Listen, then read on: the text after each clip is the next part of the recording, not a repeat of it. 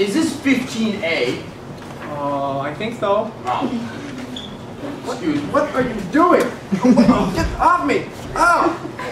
Into the airplane! Oh! Oh, I love flying and meeting new people.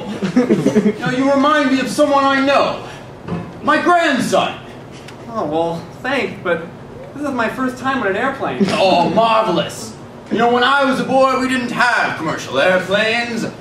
I can see why that would be of interest to you, uh, but uh, I'm going to be really honest here. I care very little about your old person life. I'm from Oklahoma. We went by a horseback, a donkey cart, broom, wheelbarrow. In fact, I'm so old, my mother was what we called a wheelbarrow mother.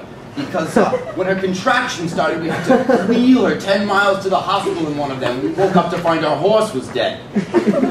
huh. They really shouldn't let you out of the house at all. the lusty vigor of youth. Remind me of uh, my grandson. Good afternoon. Can I offer you a drink or some cigarettes? I mean, some martini.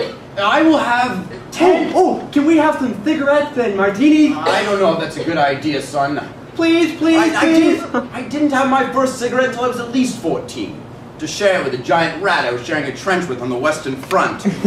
but, you know, I guess it's best we provide you with a safe environment with high quality, safe cigarettes so you don't ruin your health. We'll, uh, we'll take, uh, what should we have? Some martini, then some Chesterton. Two packs. you know, I'll take mine bone dry. Mm -hmm. uh, I'm of the opinion that too much vermouth breaks the saddle.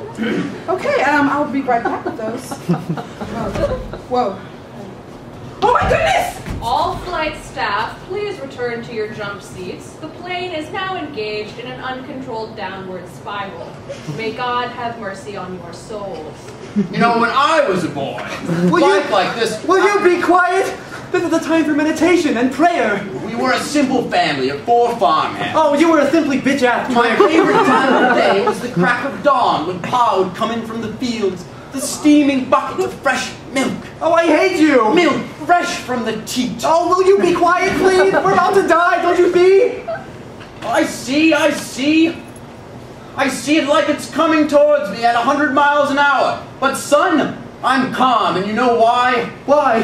Because we have to fly higher up to avoid things like balloons and carrier pigeons. Ladies and gentlemen, we are saved. We've now passed through a hmm. tremendous air pocket, and the plane is flying again. You see? Oh, I think I'm gonna have a heart attack. I need to get out of this thing. Now, son, you don't you don't want to see a, a carrier pigeon slathered all over my window, do you? Oh, I can't take this anymore. I, I demand we fly closer to the ground. Son, we have to fly higher up. Just imagine the gray mess, the the feathers askew, the the message obliterated, the face unrecognizable. A carrier pigeon? A carrier pigeon! Oh. I don't give a shit about carrier pigeons or old people. I just want to get off this plane. Help me. It reminded me a little bit of my grandson. Is there a problem here? Yes. Yes, this boy is creating a terrible disturbance. I think he's touched in the head. I think he's a communist. he's certainly too old to be allowed on this plane. Okay. My feet are tired. This planet almost went down, okay? I'm gonna have to physically restrain you if you make any more of those eldest remarks, okay? They're racist and no one thinks they're funny. She's right. You should simmer down, boy. What's wrong with you? What's wrong with me? What's wrong with you? You and your Mr. Rogers cardigan and your insanity. Do you ever look in the mirror and reflect on kids these days? Do you ever look in the mirror and think that you should have died 20 years ago?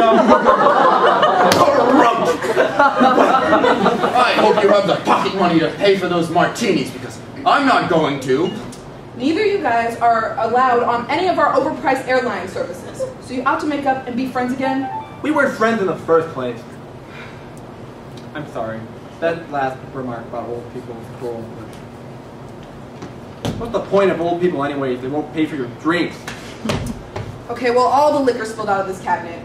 But I got a hit flask. To Harry Truman. I'll drink to that. Of course you will. You're an airline hostess.